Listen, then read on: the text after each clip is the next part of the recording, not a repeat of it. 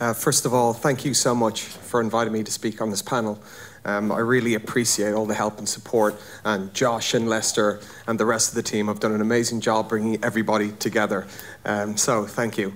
My name is Shane Kehoe. I'm one of the co founders of SVK Crypto. SVK Crypto is a venture capital fund based here in London. We deploy capital into crypto and blockchain. We're super early stages. We take equity stakes, but we're actually all about the community. For us, it's not just about writing a check. Anybody has money or capital. It's about building a community, and a community that will then, of course, help with adoption. Our most recent milestone is that we have been backed by Block One, the creators of EOS.io.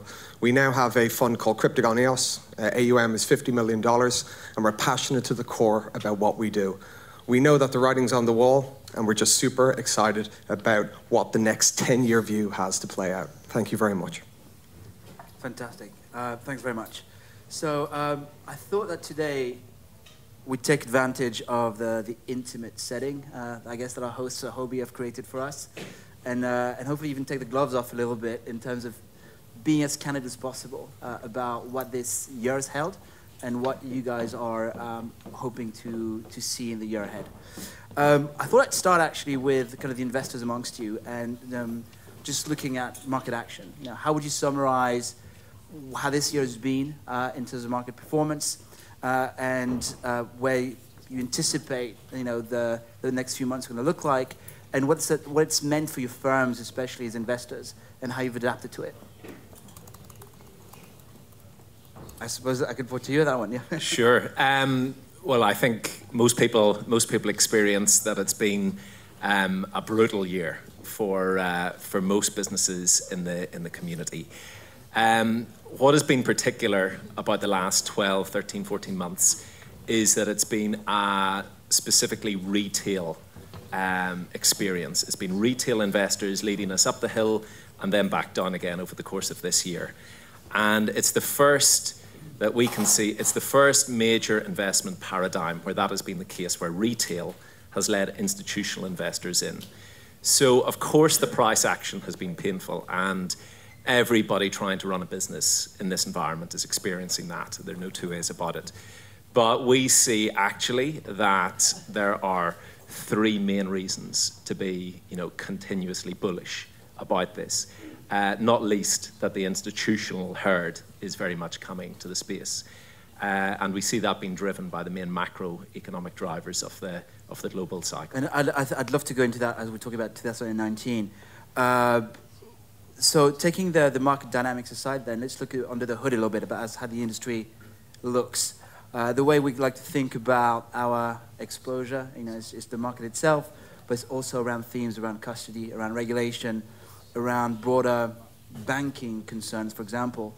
Um, I suppose starting with you, Simon, you know, how would you summarize regulation today, the progress that's been made this year, um, and then following on from that, we can go into what the hopes are for 19 as well. How would I summarize it? That's a, a difficult one to do in two minutes, but uh, you see different approaches emerging globally. And I think that's part of the challenge for any business in that it's hard to get any regulatory certainty uh, and especially in tier one jurisdictions. Uh, of course, you've seen uh, China ha has an approach which is you know uh, not allowing crypto to touch um, the uh, fiat side as easily. Um, you've seen Japan with a whitelisting model. You see across uh, Europe a more of a wait and see approach. You see in some of the minor jurisdictions more of a let's legislate approach. But if you look at the Gibraltar and the Maltese legislation, it, it's not a low bar. This isn't. yeah, I think the fear was with a lot of those jurisdictions that they'd create uh, a set of regulations that were a race to the bottom. If you read those regulations, that's absolutely not the case. Um, and then in, in, the US, you've got what the US always does, which is a million agencies doing a million different things, uh, and a million bodies trying to then actively lobby those to do something sensible. But in, in spite of itself, it does actually appear to be creating regulatory certainty. Uh, the challenge then becomes so, what does that mean if the institutions are to come in? because that regulatory uncertainty is the one thing an institution hates uh, and can't touch. There's very few parts of the world that you can draw a line around and say, this is the certainty that I need, this is the certainty I need to operate. Uh, and from, uh, so when I speak to tier one banks or when I speak to the global regulators, there's, there's, there's several layers of challenges, right? You've got the, the global standards bodies, your FATFs and your central banks who have a very clear view that the technology and the assets themselves could be enormously beneficial to the global economy from creating truly global finance to transparency in finance, there's a whole bunch of things that they actually really, really like. You got the next layer down, which is some of the regions, and that's kind of affected by politics to a certain degree. Um, and policy is leading regulation more than regulation is leading policy. And the reality is, so I was on a panel with uh, the head of policy from Europol and uh, the guy who leads policy for FATF a couple of weeks ago down at the Thomson Reuters building. And they were saying, we're seeing more illicit activity in crypto than we were a year ago, and that is increasing. And so the real challenge this space has is got is in terms of credibility and in terms of regulatory certainty. And the only way we're going to be able to create those is going to be with hard work. But I don't know that the war chest is really there that it was 12 months ago to do those hard yards, which is one of the reasons I wanted to kind of help get the industry together under global digital finance, because I think that's going to be the most important thing to unlocking that institutional capital. That, and of course, as you mentioned, some of the infrastructure things like custody and merchant banks. And um, I suppose so going into uh, the, the, the, the, custody side, the, the banking side, and other of those kind of operating concerns that the, the companies, the industry are, are faced with. Um, I was, I was going to point this at, uh, at Bob and, and Shane here. Uh, what has been your experience? What has been your main kind of friction points as operators this year uh, that you're, you're hoping to solve for? Yeah, I think to build on, on Simon's point, what we have seen is basically projects, they are arbitraging the geography space in terms of where they will actually set up, uh, where they will put it, and in terms of the legal as well as the people, and they don't mind moving people around.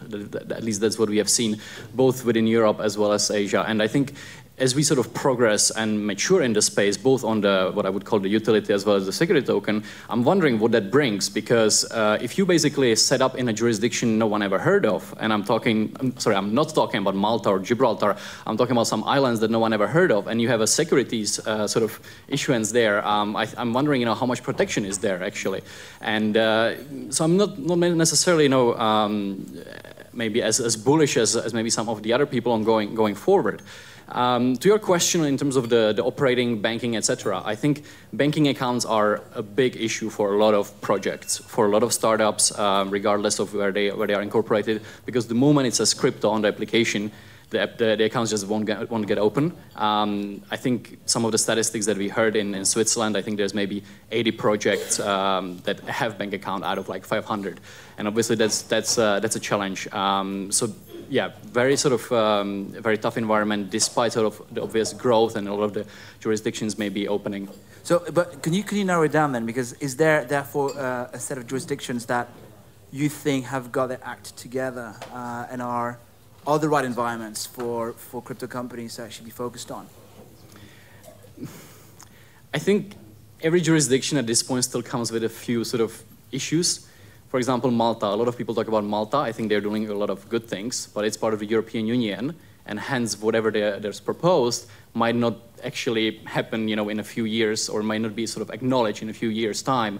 Um, I think similarly, Gibraltar actually is not in the European Union, and there are sort of issues around that. So I don't have a jurisdictions where I would people point to. I think what is good is see what sectors you are, where the other companies in that sector incorporated, because there might be some precedents that you can use. Let's just park the jurisdictions for one second, because that bores me. It probably bores a lot of people in this room. Let's go back to Steve. You, you didn't really fully trash out your point on, on price. The way I look at this is it's binary, right?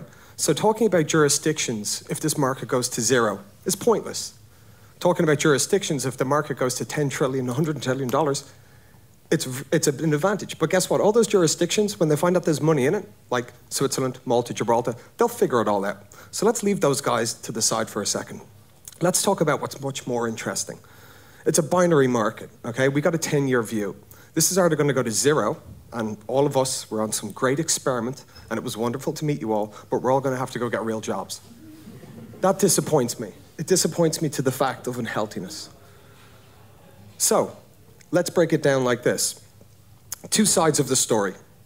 Price action. Price action, what everyone's talking about. $125 billion market cap. Bitcoin Cash down 9%, EOS down 12%. Everyone gets really disheartened about the price action. The price action is actually not important. It's not the metrics that we should be evaluating this market. It's all about the underlying tech. It's about the build out. And the price action is not important because it's driven by sentiment. And sentiment is driven by fear and greed. It's emotion. Having been a trader in the market before I set up SVK Crypto, I worked for one of the largest hedge funds here in London. I was a portfolio manager and a partner of Bluecrest Capital Management. I ran equity capital markets. I know what a down market's like. I know what a bull market's like. I know how to put on risk. I know how to rebalance my portfolio.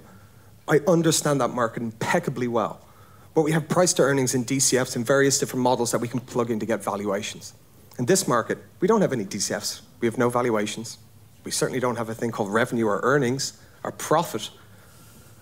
But what we do have is we have a vision and a vision of how it should be. And the only way to really buy into that vision is to look at the tech that's being built out. So that's, I think that's a great segue into speaking about the future now. Uh, looking at 2019 and, and focusing on this innovation point, what's going to come out that actually constitutes tangible progress, uh, some sort of delivery uh, between what the actual project, the, the, the 10 year view is about, and what actually we would like to see in 2019 to actually happen. What do you think that looks like uh, with, with the next year in mind?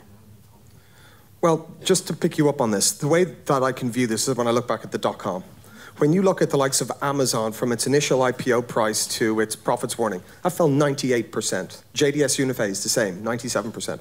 There's a lot of tech companies which also fell to that, that regard. When you also look back at the technology space in the late 90s, combined market cap was about 6.7 trillion. Uh, Nas, Nas, market cap of technology companies listed on the Nasdaq and the New York Stock Exchange. We're nowhere near that. We're still pre-Netscape. We still haven't even figured out what we are going to do with these products. So it's super, super, super early.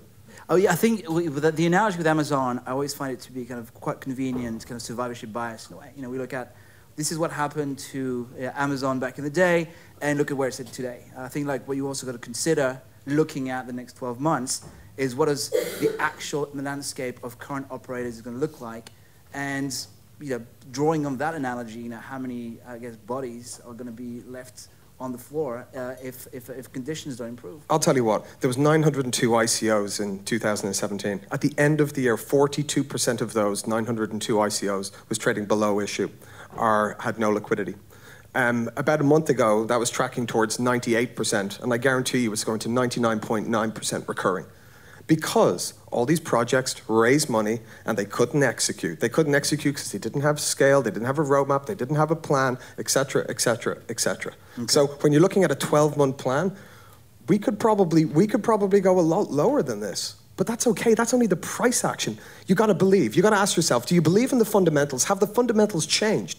If they haven't, then turn off the screen. Simon, keep building. You're, you're, yeah, you're and, and jump in. A16Z for some time have been talking about new types of fundamentals and new types of yes. cooperatives and new types of way of um, and, and, the, the, the old fat protocols thesis and the sound money thesis. You hear lots of people throwing around what the new fundamentals are, and whenever I hear people talking about new fundamentals, I get really concerned because whilst the way we value those networks may change, I don't know that fundamentals ever to change. Uh, it, I hate to be one of those like Gary Vaynerchuk, you know, it's hustle time bro type dudes because I, I, hate that stuff. I hate hustle porn. Like I'm not a fan of tell it. Tell me what you love. tell me what you love. Don't tell me what you hate. Tell me what you love. Come on, let's go. But I love fundamentals. I love revenue. I love people who actually build something that has value to somebody who is going to buy that thing. And frankly, most crypto networks don't. They had something that they made up and they pumped it and they dumped it. And I think what happened is that was the speculative bubble. Until that fundamental starts to come in, we're in real trouble and we will continue to be in real trouble. And I don't know, and what I can't see, and I don't know if you guys do, and I don't mean to play a moderator role, but I don't see where that starts to come from. I think it's adoption, right? I think it's something using something, irrespective if it's for a price or a cost or a fee. It's you have to have something that's at least used. If you have built something and it doesn't have any usability, then it's it's useless to everybody apart from the person who built it as a vanity type. And DApp usage is like single figure thousands, right? Across all of the DApp platforms. Well, And that's exactly why I think that the comparison to, to Amazon and to the dot-com bubble is flawed. Because back then, some of these businesses, they at least had some revenue. They had some business model, they had no, a few customers. No. And nowadays, you, had, you came up with a white paper. You came up with white paper. I went, I went to Goldman Sachs, and they were, they were viewing and valuing businesses on eyeballs. I was there in 1999 in Fleet Street. They didn't have revenues. Perfect. Even eyeballs. Nowadays, you don't even have these eyeballs, right? Exactly. So you have white paper. You came up the the projects. They come up with something, and it's not even used. Show me a user metric. Show me you like yes, it, that's the thing. Show me usage because uh, you can be pre-revenue with great usage. Like you can have a, a hundred million users and no revenue, and I know you could monetize that for something. So I feel I feel like you guys are are quite optimistic about the ten-year view, but very harsh about the two of you at the same time, which to me strikes me as a slight contradiction. To be perfectly honest, um, th there is bound to be you know stuff that we know in the market today that we think is going to deliver either a better environment, I guess, for some of the in investment inflows, or more adequate investment products. Got to at least keep things ticking as we're all invested in the kind of 10-year optionality. That is the value creation. So look, thinking about that for a minute, um, I'd quite like actually you to jump in and tell us a bit more about what you see from a, let's the the, the kind of the the, the invest uh, sorry the institutional investor involvement in this, um, and if you guys could actually talk about maybe some of the way in which the market is maturing from an investment product standpoint, that'd be quite interesting because I think we're not touching on you know what's being done about volatility, but potentially the stablecoin market, those types of things. Do they constitute something that's actually going to keep things ticking whilst people are working hard at delivering on that value? Sure. Um, let me just sort of chip in here. So I applaud Shane for his view, and I share his view 100% where this place is going to be in 10 years. Um, as anyone who has run their own business, or as every portfolio manager also knows, the, the 10 year vision is the easy bit. It's actually managing the risk. And, you know, talking about options, this is very much a path dependent option on where the space and the participants in this community find themselves. Because for, for the likes of Galaxy or Huobi, we're, we're big, you know, well uh, financed companies um, that have got permanent capital that are that can stay here. But as we all appreciate in any marketplace, um, you don't have a market without multiple participants, without multiple counterparties. And so I rather choose to hear the question about, you know, what, what does this space look like in the next three, six, nine, 12 months? Because I think that is where, uh, I think that's the empathy and that is the relevance to probably most people with small to mid-sized companies in this space. So to that point, where I see the great message of hope is just the institutional adoption is happening right here, right now. And for me, what we saw in September, early October, we saw um, some of the big investment banks. We saw Morgan Stanley, we saw Citigroup, we saw Goldman Sachs reaffirm their intentions in the space. And you know what? That's great. I'm really pleased to see them do that. So I don't buy that. I don't buy that they're coming. The, this, the institutions are coming is a great story, but I can introduce you to some people who are on the inside who, will, who were and have now left and will say, yeah, that's all bullshit, right? So a lot of it's optics, a lot of it's PR, a lot of it's wanting to seem real. And you get the meeting and you go into the room and it seems great. I've been on the side of a bank and I've been in the room when somebody's gone out of that room and said, Barclays is going to do a thing with us. And I'm like, mm. no, we're not. We just said hello because I'm, we were curious about who you were. I'm always a bit cautious about using the banks as, as, as the best analogy, though, because, because to Simon's point, they're kind of also almost the last entrance in a cycle of innovation. It's the exact I, same I when they hire. They always hire when the market's at the very point, and they always fire at the very low. So yeah. they always get it wrong. They're topped and tailed continuously. So I, I hear the dynamic that, you know what, investment banks are really big, complicated, sophisticated organizations, and invariably there is a bid offer range of views, range of dynamics, range of personal incentives. And the typical investment banking model, if you go, and they're all pretty much the same, where the capital markets desk heads in the senior management regime are still very much understandably smarting from 10 years post GFC of all the fines, particularly on the KYC AML front. So, understandably, they're a little bit less excited. Whereas on the private banking side, they're all let's get in because their clients have very real demand. So, Steve, so nothing is simple. But the investment banks, to your point, are but one, and I think the least important of the institutional drivers.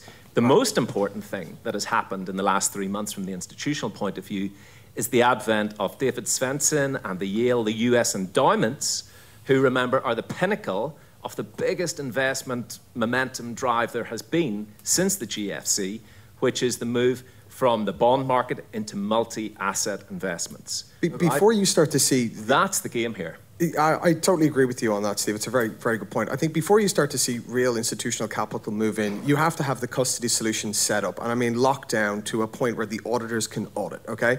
You need to also have products which the institutionals are used to having all different types of hedging facilities um, all different types of products where they can go long and short and they can manage risk. They also need all the tools to do it the institutional tools to do it. They need the counterparties to deal with. They're not going to necessarily deal with an exchange and unregulated in a different part of the world.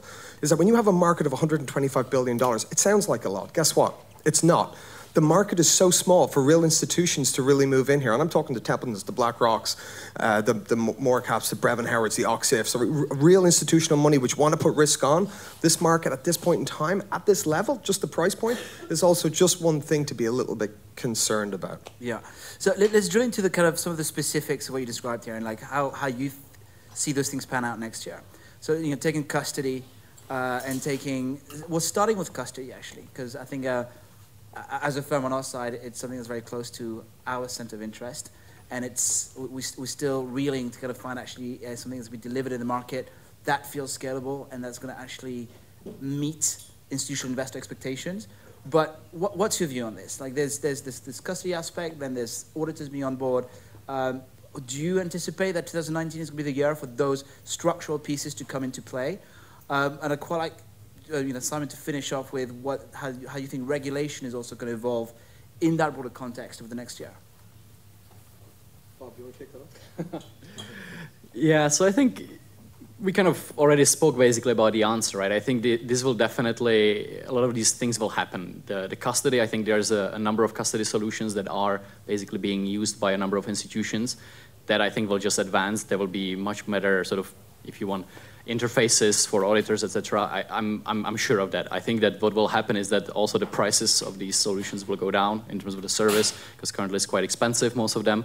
Um, so I'm quite, quite, quite sort of you know, positive on that front. I think in terms of the new products, um, especially exchange, exchange traded products, I think there's a couple of uh, ETN notes uh, that, uh, that you can buy that hopefully or, or are quite close to copying the, the, the price of, um, of the underlying. I think again we will see quite a bit of uh, flourishing in terms of you know going also into other, especially EOS for example. Uh, there's some some movements there where there will be an ETN etc. So I think again quite quite positive. Um, where I think a lot of people are looking at is obviously the STO trend and uh, a lot of the a lot of the sort of um, securities basically uh, because until now ICOs basically were non-dilutive to the to the investors or to the, to the, to the project owners basically. I think obviously that is a big trend. Uh, personally, I'm quite skeptical on that. Um, I think that will, will has a lot of issues around it, and then we can elaborate on that when when, when you want. I, I'd love for you guys to expand on this. Uh, the kind of skepticism actually that that rightly or wrongly some people are holding uh, in, in, relation to STOs. So that um, I, I suppose that yeah, please expand. Uh, it's, it's, it's the core of many of the debates that we're seeing around how new businesses who are entering the space should consider, uh, consider funding themselves. Uh, to my understanding, there's very limited opportunities for these uh, tokens to then be traded. Uh, there's very few venues on which the, the liquidity can actually uh, scale. what are your thoughts? Yes, I think basically, the, and I think a lot of people here are probably familiar with, with STOs. Um, I think the, the, the, issue there is that a lot of people think this is an easy way to finance and to fundraise. I, I don't believe so because it's regulated, it's securities, it has the name in itself, right? So you need to have a, you need to be quite regulated when you make this process of fundraising. And a lot of people think of it as a way to basically make a lot of um, private capital much more liquid uh, and uh, basically fundraise much more easily. So on the fundraising side, I think you know obviously KYC applies here as well, and uh, there will be a lot of restrictions. So you can't just suddenly go and fundraise from whoever you want, even if they would actually give you the money. Similar for marketing of these securities, there's a lot of rules around it, uh, especially obviously in the US, but even in Europe. So um, there will be a lot of barriers to actually go and market these securities. And then on the trading side, I think similar similar issues apply. What do you see currently in the in the equity space, sorry, in the apologies, in the in the ICO space, a lot of these tokens are actually not liquid. There's very very limited uh, trading volume. Um, we we do um, work with around 40 projects currently for designated market making, where we provide a liquidity. Something similar will need to happen also in um, in the um, in the STO space. Otherwise, you just have a price that is maybe a couple of weeks old. And uh, I guess uh, that's for uh, for Simon. I mean, once you start introducing the, the burden of kind of securities law uh, around um, STOs and what that represents for issuers, are we still, is, does it still constitute real value creation for the stakeholders there, or are we just basically reverting to the old systems which this, this entire industry it depends who meant for. to innovate against? It depends who for, right? And it depends what your thesis is. Like, it is crypto there to um, build a new world order, in which case security tokens, maybe they don't get you what you want is crypto there to make finance more transparent and more efficient and fair, then actually security tokens could be pretty fucking cool.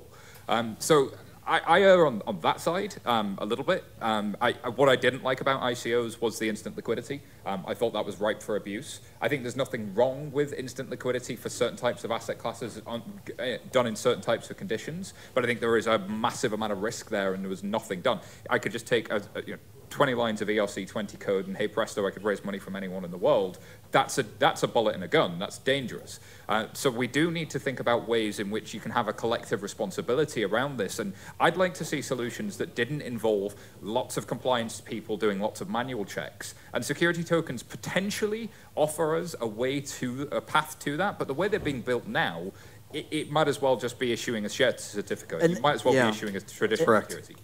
Sorry, uh, no, I, I, totally agree with what you're talking about. A share certificate, if it's backed by any, any type of ownership in the business or any type of equity, it's just a share. Um, I think the ICO market and the STO market, um, one, you know, wonderful in theory. Uh, it's amazing that we can break down the walls of venture capital and we can have a long tail of, of investors from all around the world with all different backgrounds, all adding to a pool of capital for a project or a fund. And I'm all about that.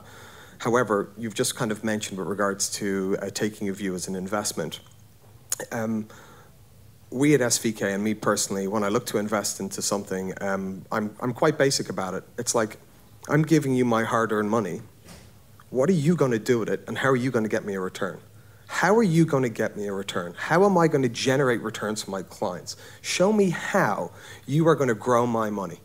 And it's very, very basic. And as soon as someone can't answer that question, it's a, just a no. I walk right out. And, and when you get a, a, satisfactory answer to that question, do you become structure agnostic then? You would be equally happy. Oh, no, then I ask another question and another question. I just keep on going. I mean, I just wear the guy out. I want to know absolutely everything to the deepest, darkest level. I want to know what the guy had for breakfast and who he was with last night. I'm not joking you. I'm serious about this. I'm giving my money to someone who's given me a token or a piece of paper or some other bullshit.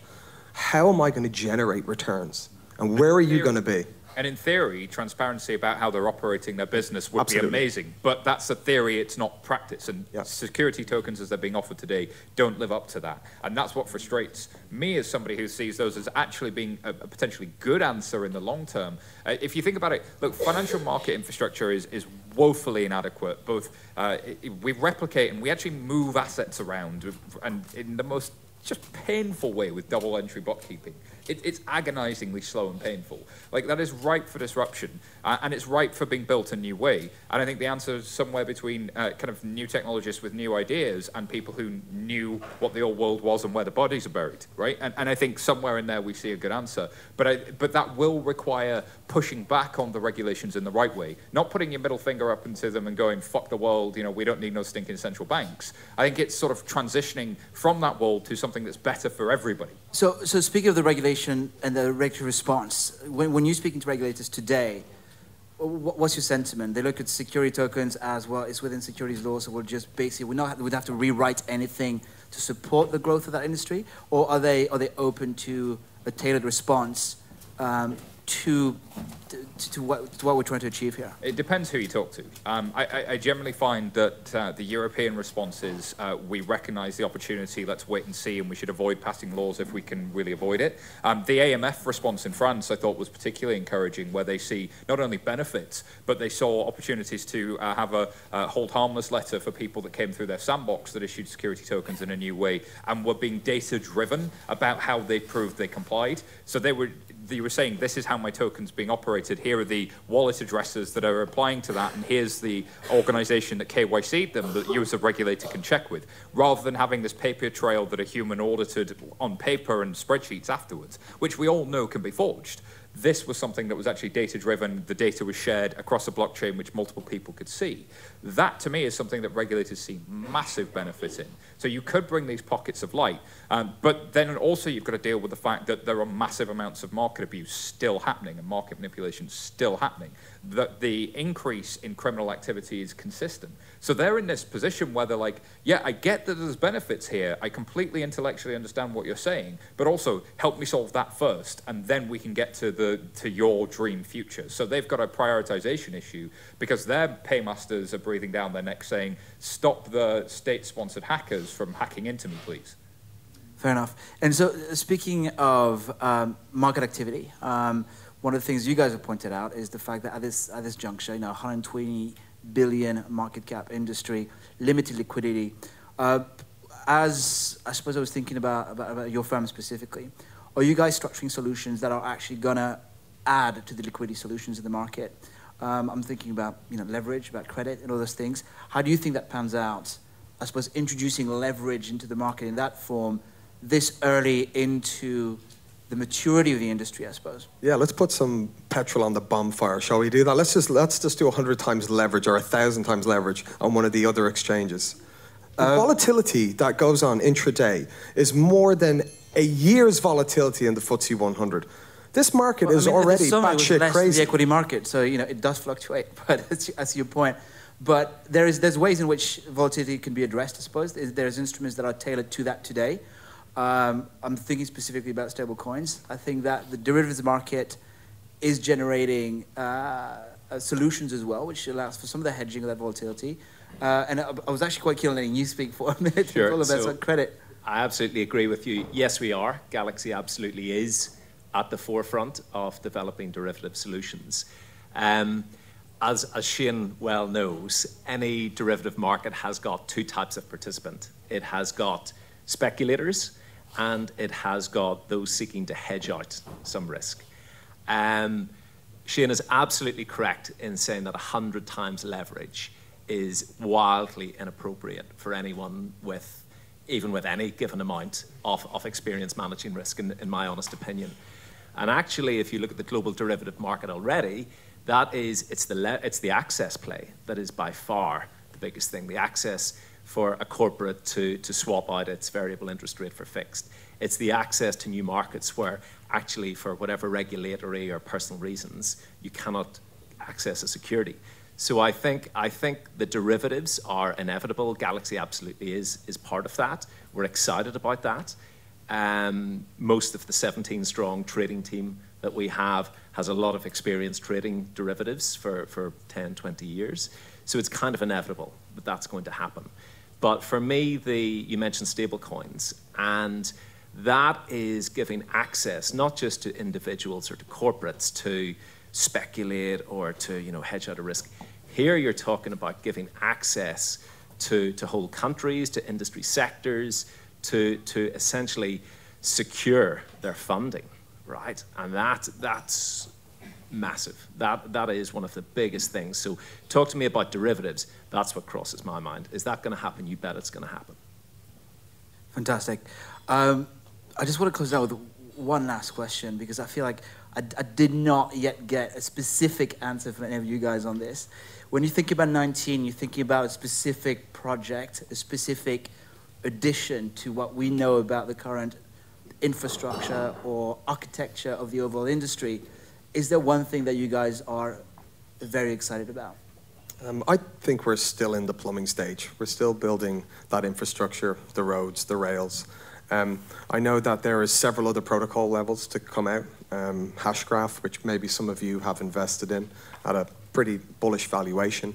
I know there's Kadena, which is out of uh, JP Morgan and SEC guys, Will and that team do, a, do an amazing job. And there's several other protocols. I think that's really what I'm interested in is to see how the future will look. And almost like operating systems are different web browsers, in the future there'll be protocols which will be free, fast, and scalable, like maybe EOS. There'll be protocols which will be solely private. There'll be protocols for different types of enterprises. And I think I'm, I'm really interested to see the solutions and the, creati- the, uh, the, the creations that are, are, that are forthcoming in 19 and, and what they can do. And I think we need to have the infrastructure, the plumbing, the pipes, the roads, the rails, and then once that's there, and we already do, to be fair, with um, the EOS.IO protocol, our uh, Stellar, or even Ethereum, although they have had some congestion problems. I'm not going to mention Crypto CryptoKitties, which after 37,000 transactions in one week brought down the network.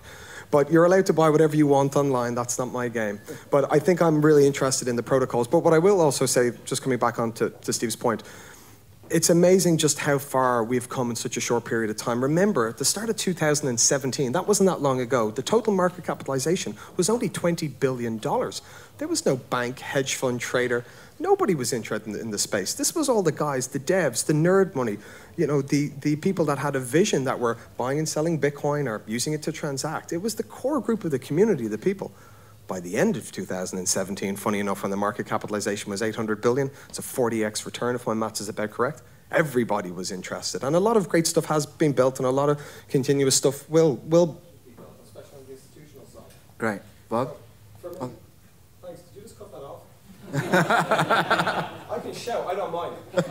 For me, and I'll wrap it up. I'm really just excited about where we're going and how we're going to get there, and everyone is along for the ride, and it's just wonderful that we've all come out here today and we're all got a vision and we're all looking forward to it. Thanks very much. Fantastic, Bob. Yeah, that's it. um, oh, perfect. Thank you.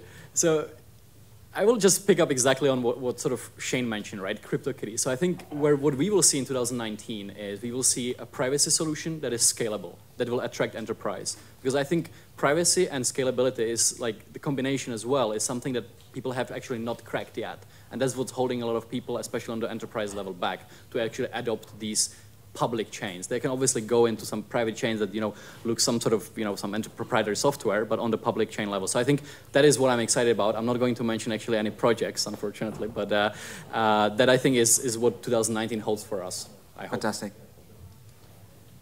That. Um, I, was chatting to uh, Vitalik yesterday. Um, he, I interviewed him for Blockchain Insider. That episode drops next week, and he said um, that he's really interested in uh, STARKs, ZK stocks. Um, and, and, actually, I think uh, that whole space, getting enterprise, will really start to change the mindset in enterprise because crypto networks run parallel to crypto right? But what you didn't have is crypto that was true over time. It, it gave you a point in time. I signed this fact to be true uh, in 1993, and I don't know if it's still true. Now, that is hugely, hugely advantageous if I can know that fact is still true in all parts of the economy. And I think the beginnings of people waking up to that, um, you'll see this with various infrastructure upgrades next year. But I think you do see, um, like, we'll get away from those stupid headlines around Maersk pilots a thing with IBM, and we'll start getting into, like, interesting company does something a bit more interesting with crypto, and that will start to come out. And, and that's where it gets interesting. Fantastic. Yeah, right there. are Two things I'm excited about. Um, the macroeconomics driving the big institutional investors investors into the space, and secondly, just that reading the financial press and reading about some exciting company and having to scroll down to find out that they're doing it in blockchain, and that actually, you know, a blockchain is just a part of real world, and we're actually just unaware of actually these solutions, these real life use cases, are happening to be driven by this tech. Logistics in ticket sales uh, and in loyalty schemes. There's corporations, which I'm sure we all know, that are already looking at taking a couple of percent of their balance sheet and deploying it into crypto for, or into blockchain technologies for that very reason. Just like when companies went from being a typical company to having a website, we're starting to see that moving, and enterprises will drive that because it's good for business, it's good for their for their particular revenue model, they can deploy capital in, and I think once that catches on, it's the adoption. And there'll be businesses born that do that, that will then compete with them, and that's what excites me as well. Fantastic. Fantastic. Well, guys, um, I'd like to thank Huobi, your host today, uh, very much for hosting this event, and um, the panelists. Guys, thanks a lot. Uh, we should do this again next year. Thank you for your it.